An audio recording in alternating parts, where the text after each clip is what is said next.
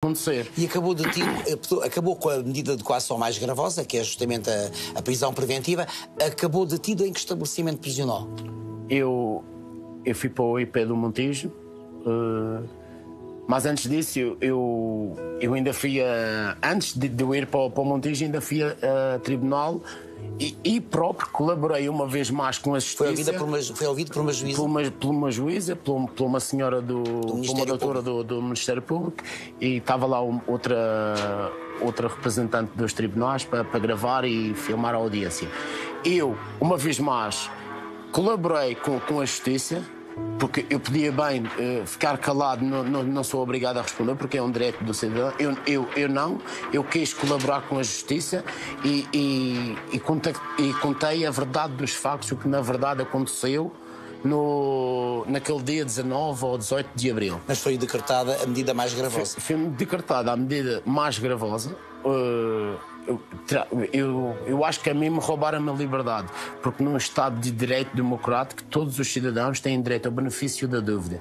E eu não tive. A primeira, o único problema que eu tive com a justiça, que eu não tenho antecedentes criminais nem aqui nem em lado nenhum do mundo, o seu cadastro está limpo. Está limpo, o meu cadastro está completamente limpo. Só Ruben, há pouco falava-me daquilo que, da tal campanha que, aliás, foi difundida através de órgãos de comunicação social e das redes sociais. Uma das coisas que se dizia é que você tinha antecedentes criminais. Sim. Disseram, disseram várias injúrias e várias, várias mentiras. Foi, disseram que eu passei por, por, por cima do corpo do homem, para a frente e para trás, e depois passei e fugi, e depois passei porque não estava consciente, ou que tinha drogas, ou que tinha álcool, e depois que tinha antecedentes criminais, no fundo eu acho que isto foi uma campanha de injúrias e difamações, ou então foi alguma coisa para justificar o trabalho que efetivamente não foi feito. Mas encontrou alguma razão para uma campanha contra si? Não sei, sabe que este mundo das artes e, de. Você sabe melhor que ninguém que já anda há mais anos do que eu. É um mundo cruel. É um mundo cruel e, e epá, quer quer, mas quer não, não é normal um madeirense estar a brilhar em Portugal e, e, e estou a sentir isso, que é por eu ser madeirense que estão a fazer isso. Porque se não fosse por isso, o Ministério Público. Acha não, mesmo que é por isso? Eu, acho que é, não sei, mas eu senti isso, eu, senti parte disso em pleno tribunal, onde o Ministério Público olhou para mim.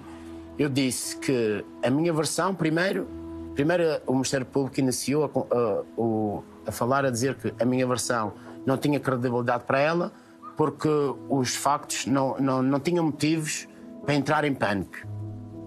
Não sei, não é normal uma pessoa ser abordada por outra ao, aos morros no carro e não entrar em pânico. Eu entrei. Oh, Ruben, e quais são os argumentos depois, usados? Os argumentos usados foi... Para a, para a medida de coação, é, é, foi porque perigo de fuga porque vivia aqui na Madeira? Sim porque eu sou residente. Estas são palavras ditas pelo Ministério Público à minha pessoa e estão gravadas na audiência.